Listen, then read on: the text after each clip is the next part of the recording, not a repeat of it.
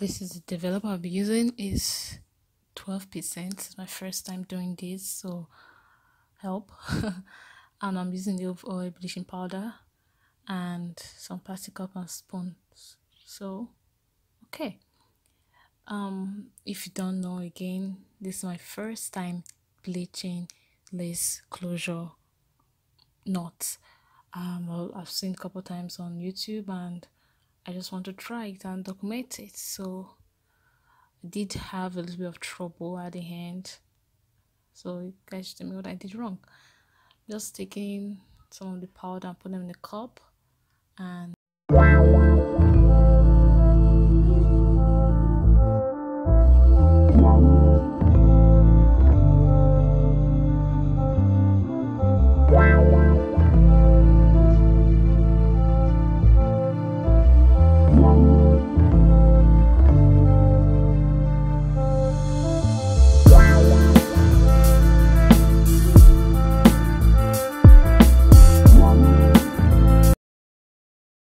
as I was doing it, I discovered the smell was really like chemically. I really don't want to explain, but I was scared that it was it's gonna cause me some kind of I don't know. So I went to go and wrap something on my face. oh god, it's so weird. Then I'm spreading the mixture in like butter. For some reason, why it's not going on like butter. Just squeezing that in there. I set my timer on 20 minutes, but for some reason, before 20 minutes was up, I noticed the root were like turning golden brown. So I had to quickly remove it and wash it. So I'm washing it right now with some shampoo. And you can see that it was really weird on my hand. I was like really scared. Like I don't know if I've done some damage. I don't know this is the brassiness people keep talking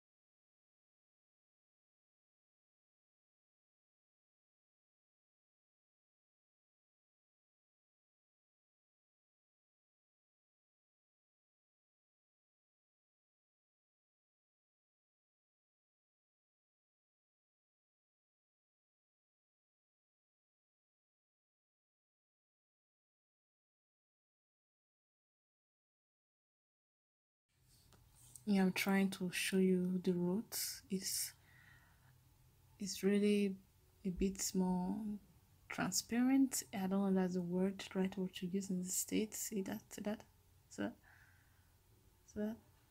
Like it's more like yeah maybe i'm not so bad at this. On tea. You see what happened next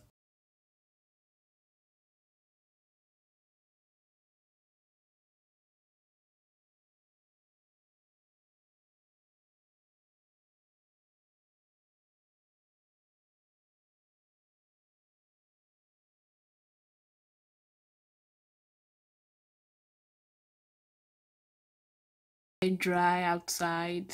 I took it out and it's not no it's not as bad as i thought even the roots that was turning golden brown is not as bad as i thought but you know i don't know how this thing look like once it's laid on my head. see that? see? I'm just that's it that's it right there. Yeah. I'm going to use this closure to deconstruct a wig I already have and put this on it. So that will be coming maybe next week. I don't know, very soon.